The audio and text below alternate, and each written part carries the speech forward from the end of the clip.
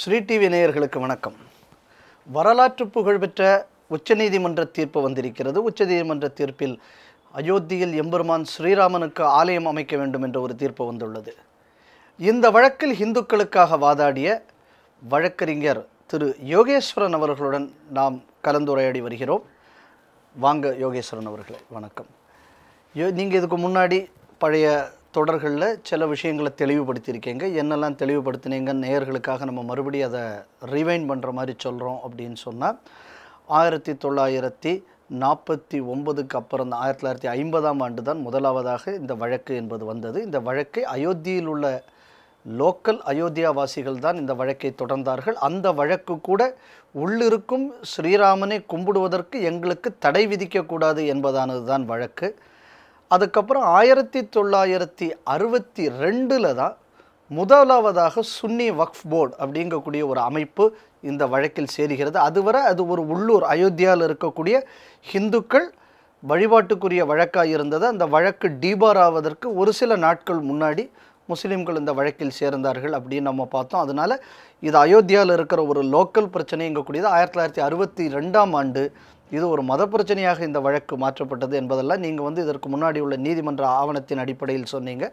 அந்த வழக்கில் கூட ஹி- அரசாங்கம் ஒரு ரிசீவர் அப்பாயின்ட் பண்ணுது. அந்த ரிசீவர் அங்கே ஹிந்து ஆலயம் இருப்பதற்கான எல்லா சான்றுகளையும் அவர் சமர்ப்பித்தது. இதெல்லாம் நம்ம இதுக்கு முன்னாடி உள்ள எபிசோடில் பார்த்தோம்.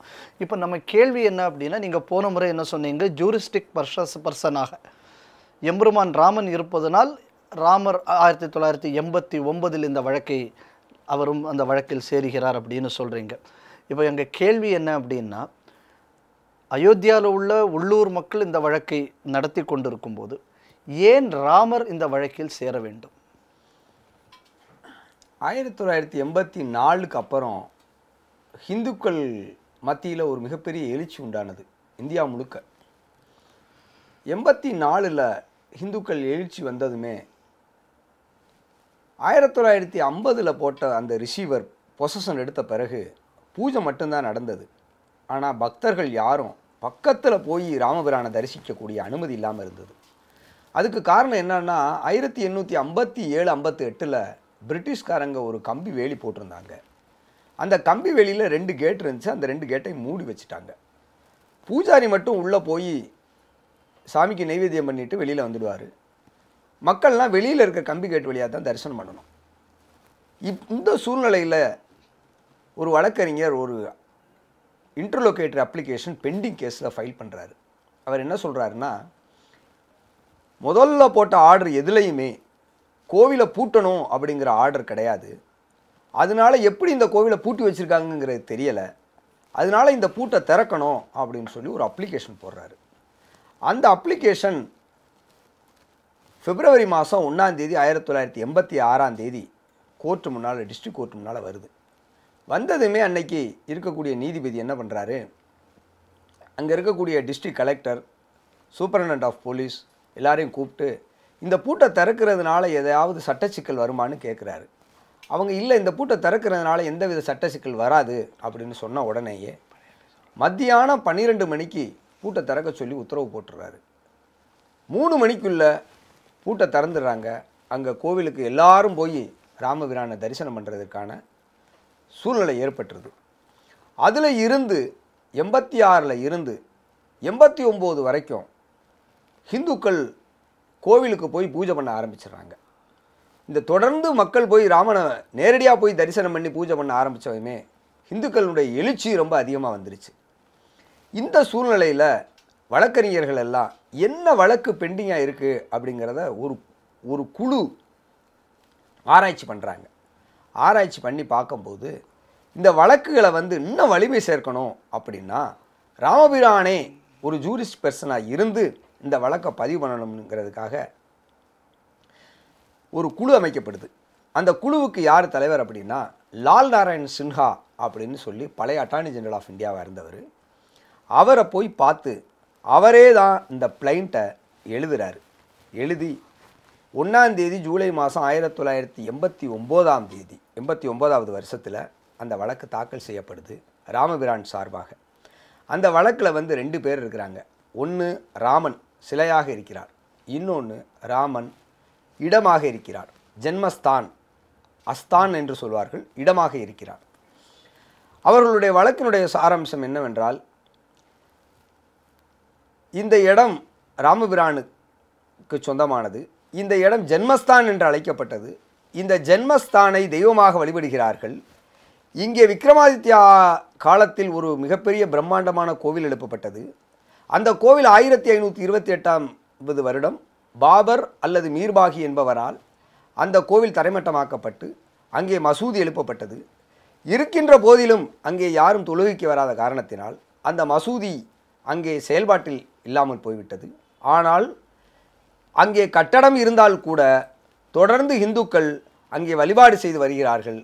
ஆகவே அந்த இடத்தில் நாங்கள் மிக பிரம்மாண்டமான கோவில் கட்ட வேண்டும் என்பதற்காக அந்த இடத்தை ஜென்மஸ்தான் என்று கோவில் இந்த நீதிமன்றம் அ- அறிவிக்க வேண்டும் என்பதற்காகவும் நாங்கள் பிரம்மாண்டமாக கோவில் கட்டப் போகிறோம். அந்த கோவிலை தடுப்பதற்கு யாரும் வரக்கூடாது என்பதற்காக ஒரு இன்ஜங்ஷனும் கேட்டு அந்த வழக்கு ஒன்றாம் தேதி ஜூலை மாதம் ஆயிரத்தி தொள்ளாயிரத்தி எண்பத்தொன்பதாம் தேதி தாக்கல் செய்யப்பட்டது. அப்போ இதுக்கு முன்னாடி உள்ள வழக்கு எல்லாமே எப்படின்னா நாங்கள் உள்ளே போய் எங்களுக்கு வணங்குவதற்கு அனுமதி தாருங்கள்.